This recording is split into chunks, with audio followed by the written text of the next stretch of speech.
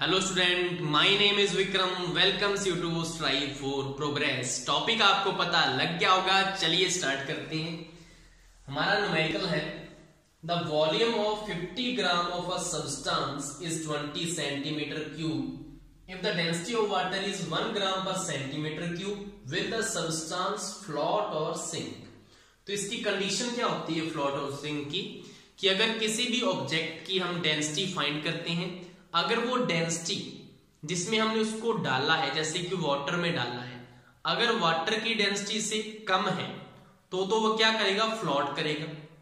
और अगर ऑब्जेक्ट की जो डेंसिटी है वाटर की डेंसिटी से ज़्यादा है तो वो क्या करेगा? सिंक करेगा। तो हम सिंपली इसमें हमने क्या फाइंड करना है? डेंसिटी फाइंड करनी है ऑब्जेक्ट की, क्योंकि वाटर की हमें प्रोवाइड है वाटर की हमें गिवन है। तो चलिए देखते हैं, सबसे पहले डेंसिटी का फॉर्मूला क्या होता है? मास पर यूनिट वॉल्यूम होता है। तो हम क्या फाइंड कर रहे हैं? डेंसिटी फाइंड कर रहे हैं किसकी? सब्सटेंस की। तो ऐसे से मैं लिख देता हूँ इसको। Density of substance is equal to mass कितना दे रखा है? आपको 50 ग्राम अपॉन वॉल्यूम आपको दे रखा है 20 सेंटीमीटर क्यूब तो यहाँ से ज़ीरो से ज़ीरो कट गया। तो यहाँ पे क्या आएगा ये? टू पॉइंट फाइव 2.5 ही तो आएगा। 2.5 आगे क्या आएगा? ग्राम पर सेंटीमीटर क्यूब। यहाँ तक हो गया। ये समझ में आ गया ना? फाइव बाय टू को यहाँ पे डाई आएगा आपका आंसर। अब डेंसिटी आपकी वाटर की कितनी है? डेंसिटी ऑफ़ वाटर इज़ दे रखी है आपको one gram per centimetre cube तो आपको देखने से ही पता लग रहा है कि कौन सी वैल्यू ज़्यादा है। 2.5 ज़्यादा है या वन ज़्यादा है? तो 2.5 ज़्यादा है। तो density of substance is more than density of water तो यहाँ से आपको पता लग गया होगा कि आपका जो ऑब्जेक्ट है या सब्सटेंस है फ्लोट करेगा या सिंक करेगा। अगर ज़्यादा हुई तो क्या करता है वो? सिंक कर जाएगा, डूब जाएगा वाटर में। तो ये आपका आंसर था। नेक्स्ट हमारा न्यूमेरिकल है।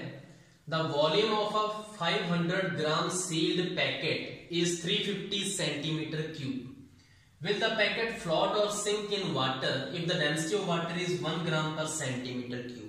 तो वैसा ही न्यूमेरिकल है। हमें डेंसिटी ऑफ़ जो वाटर है, वो दे रखी है one gram per centimetre cube तो डेंसिटी हमने किसकी निकालनी है? पैकेट की। तो मैंने डीपी लिख दिया।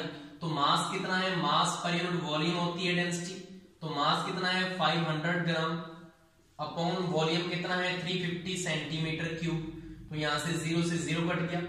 फाइव सेवन जा थर्टी फाइव फाइव टेन जा फिफ्टी होते हैं। तो टेन बाई सेवन को कैलकुलेट कर लो अब टेन बाई सेवन कितना आएगा? सेवन वन जा seven, three point zero seven four जा twenty eight, two point five zero seven two जा फोर्टीन।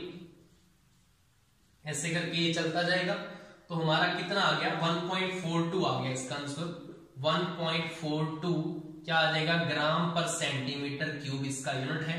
तो यहाँ से आपको देखने से पता लग रहा है कि किसकी डेंसिटी ज़्यादा है? डेंसिटी जो पैकेट की है वो ज़्यादा है किससे? डेंसिटी ऑफ़ वाटर से। तो आपको पता लग गया होगा कि जो सील्ड पैकेट है फ्लोट करेगा या सिंक करेगा? सिंक करेगा, क्योंकि इसकी डेंसिटी ज़्यादा है। अगर कम होती तो क्या करता? फ्लोट करता। यहाँ तक यही क्वेश्चन था, उसके बाद है what will be the mass of water displace by this packet अब आपको पता है जो वाटर है, जैसे कि मैंने इस कंटेनर में वाटर ले ले लिया वो वाला, जो आपको दिया हुआ है कि वाटर कितनी डेंसिटी है, ये वाली चीज़ ले ली हमने। उसके बाद उसने क्या किया था? सील्ड पैकेट को उसमें डाला होगा। तो सील्ड पैकेट ने क्या किया है? सिंक किया है मतलब वो डूब चुका है। तो जो भी सील्ड पैकेट होगा थ्री में तो होगा ही ना वो। तो सील्ड पैकेट जो होगा, वो डूब चुका है। तो अगर कोई भी ऑब्जेक्ट को हम किसी में पानी में डालते हैं तो आपको पता है पानी का लेवल ऊपर उठ जाता है। पानी का लेवल ऊपर उठ जाता है ना? क्योंकि जो भी उसका जो वॉल्यूम था, जहाँ पे पानी पड़ा हुआ था, उसका स्थान किसने लिया? किसने उसकी जगह ले ली? किसने ले ली उस ऑब्जेक्ट ने? तो जितना इसका वॉल्यूम होगा, उतना ही पानी क्या करेगा? डिस्प्लेस करेगा। अगर तो पानी का लेवल बिल्कुल हाई था तो तो ये बाहर चला जाएगा पानी। और अगर कंटेनर बड़ा होगा तो उसका लेवल उठ जाएगा पानी का। तो यहाँ पे मैं क्या बोल सकता हूँ कि कितना मास ऑफ़ वाटर डिस्प्लेस होगा, जितना वॉल्यूम किसका होगा सील्ड पैकेट का। तो वॉल्यूम कितना है इसका?